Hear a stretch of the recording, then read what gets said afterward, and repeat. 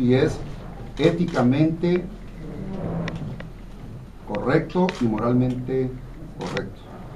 No le busque chichis a las gallinas donde no las hay.